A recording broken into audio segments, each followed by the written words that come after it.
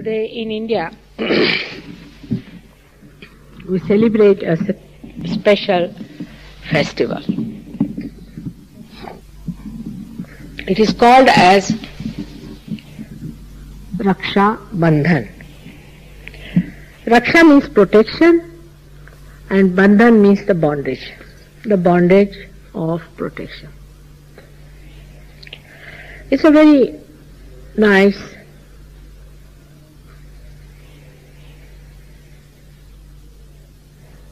good social custom to have this beautiful festival today.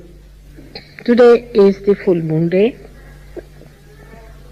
and this day what we do is to tie a band of threads around the person whom you want to protect. But it is done between brothers and sisters.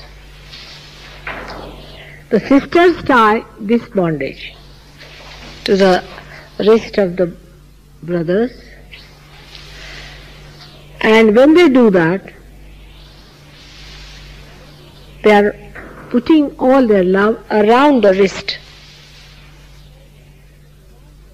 that it is the day for giving all their love, everything to their brother as a protection, as a symbol of their protection through that thread.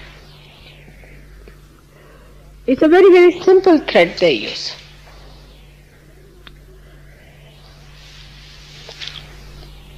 And this is has to be tied on the left hand side, but people tie it on the right hand side, which is a mistake. But it has to be tied on the left hand side. In our Sahaja Yoga, the significance of left wrist is that it is the left Vishuddhi.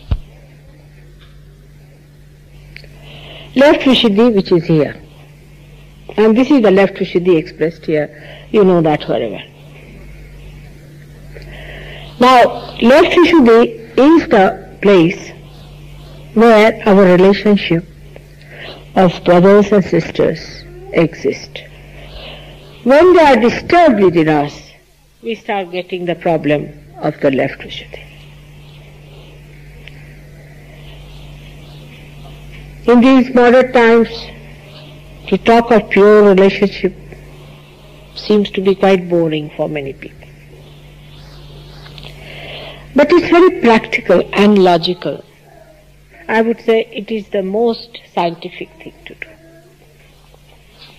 For example, every brother has a special feeling for a sister. And her chastity is very dear to every brother. If he's a normal person, if he's abnormal, then forget it. But normally a brother is very particular about the chastity of the sister. And he doesn't like anybody to in any way even pass a remark against the chastity of a sister. I mean, these natural things we might have lost because of whatever you may call it, the modern style of thinking or the machinery that is sitting on our heads.